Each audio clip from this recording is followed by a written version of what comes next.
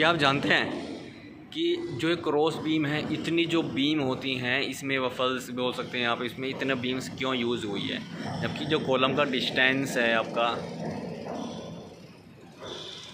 25 feet, एक column से लेकर दूसरे कॉलम तक का जो डिस्टेंस है 25 फीट है, ठीक है? तो 25 फीट में आप कितना इसमें आप दूरी ले सकते हो, कितना आप इसमें बीम ले सकते हो? तो जैसे कि आप देख रहे हैं, वहाँ पे ये, ठीक है? इसमें जो देख रहे पा रहे होंगे आप, यहाँ पे दो फिट की लटक यूज़ हुई है और वहीं पे आप देख सकते हैं वहाँ पे डेढ़ फिट की लटक उसमें यूज़ हुई है। ठीक है? दो फिट और डेढ़ फिट की लटक यूज़ हुई है। पर इसमें आप देख सकते हैं कि यहाँ पे जस्ट कॉलम है, यहाँ पे कॉलम है तो कॉलम है। तो ये कॉलम कंटिन्यू बीम गया हुआ है। ऐसे यहाँ पर देख सकते हैं कि ये कॉलम है, ठीक है? इस कॉलम से लेकर ये कंटिन्यू बीम गया हुआ है। ये उस कॉलम से लेकर उस कॉलम तक का ही कंटिन्यू बीम गया हुआ है। बट लेकिन ये क्रॉस बीम क्यों यूज़ हुआ है? क्या आप जानते हैं? ठीक है? और यहाँ पे जब देख सकते हैं कि जो कॉलम है, वहाँ पे डिस्टेंस दूरी आउटर पे कॉलम दिया गया है, लेकिन बीच में कोई कॉलम यूज़ नहीं हुआ है। ठीक है? तो ये जो यूज़ हुआ है, ये कम मोस्टली जैसे कि यहाँ पे देख सकते हैं, इस कॉलम से लेकर दूसरे कॉलम उस कॉलम से उस कॉलम पे कितना दूरी है? पच्चीस फीट की दूरी है। और बीच में सभी क्या है? एक हॉल है। जैसे यहाँ बीच में देख सकते हैं, पूरा एक कम कम मोस्टली एक हॉल है। तो इसी होल की वजह से इसमें कोई ब्रिक वर्क नहीं दिया है बीच में ओनली कॉलम का साइज़ बढ़ा दिया है ताकि प्रॉपर जो स्लैब का लोड है स्लैब के ऊपर क्या आएगा? आपका लाइव लोड आएगा। ठीक है, जैसे कोई मशीनरी होती है या फिर आप खुद पर्सन चलते हैं या कोई वस्तु होता है तो वो स्लैब के ऊपर, जैसे कि स्लैब के ऊपर कुछ रखते हैं तो इसके ऊपर लोड आएगा। तो लोड बढ़ने की वजह से हमारा स्लैब के ऊपर लोड बढ़ेगा। और स्लैब का जैसे कि बीच में अगर आप खड़े हैं जैसे कि अगर ये इतना स्लैब है, इस स्लैब के ऊपर कोई लोड आ रहा है तो वो ट्रांसफ़र होता है इनके बीम के ऊपर, ठीक है?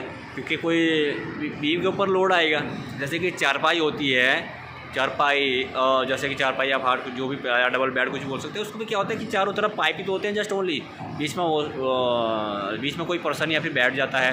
तो बीच का जो पर्सन, जो वो सपोर्ट है, वो बीम के ऊपर आता है। अगर चारों साइड की जो सपोर्ट है प्रॉपरली से स्ट्रेंथ प्रॉपरली से अच्छी नहीं होगी प्रॉपरली स्ट्रेंथ नहीं होगी तो आसानी से बीच का बैंड होना स्टार्ट हो जाएगा। तो इसीलिए बीम हैवी देना ज़रूरी होता है। और दूसरा मेन पर्पज़ होता है कि प्रॉपरली जैसे कि इस कॉलम से उस कॉलम पे एक बीम दे देंगे। उस कॉलम से उस कॉलम पे बीम दे देते हैं। उस कॉलम से इस कॉलम पे बीम दे देते हैं। तो कॉलम टू अगर कॉलम बीम दे देते हैं बट लेकिन उससे क्या हो जाएगा स्लैब का जो सेक्शन है वो बहुत बड़ा हो जाएगा। तो काफ़ी लोग कहते हैं कि इसमें हम छः इंच या फिर एक फिट लटक क्यों नहीं देते? एक फिट लटक वहाँ पे रहती है कि जहाँ पे जो कॉलम का डिस्टेंस है वो कम रहे, कॉलम का डिस्टेंस कम रहे और लोड प्रॉपरली से सेफ़ लोड रहे, ठीक है? एक तो ये मेन पर्पज है कि स्लैब का लोड प्रॉपर ट्रांसफ़र होता है कॉलम से ऊपर।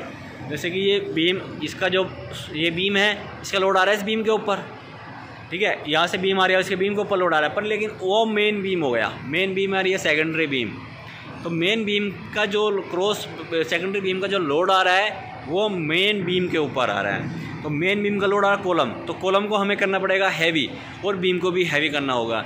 उस स्लैब को भी इसके लिए रेनफोर्समेंट हमें दिया जाता है, जैसे डबल रेनफोर्समेंट इसमें देंगे लोड के लिए। ठीक है तो यहाँ पे कोई ब्रिज में ब्रिक वाल नहीं है हॉल के लिए इसलिए दिया जाता है।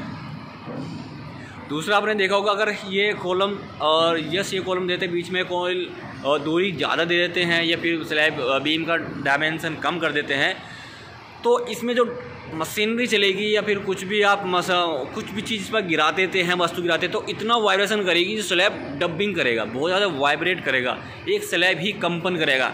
नीचे से कोई, अगर नीचे कोई खड़ा होगा, ऊपर एक थोड़ा वज़न भी गिराएँगे तो नीचे वाले को आसानी पता चल जाएगा, ऊपर से कुछ गिरा है।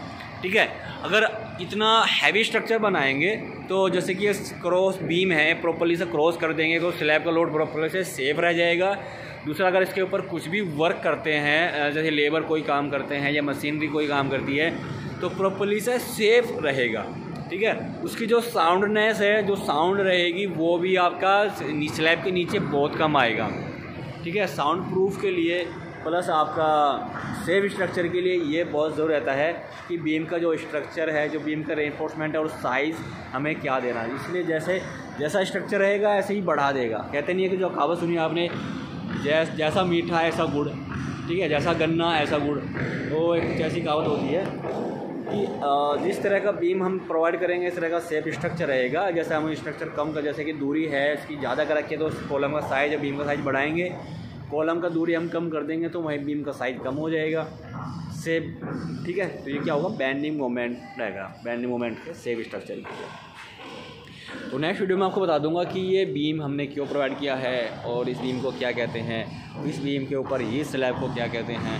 ठीक है? तो वो आपको नेक्स्ट वीडियो में आपको क्लियर कर दूँगा। तो प्लीज़ वीडियो को लाइक कर देना कमेंट कर देना।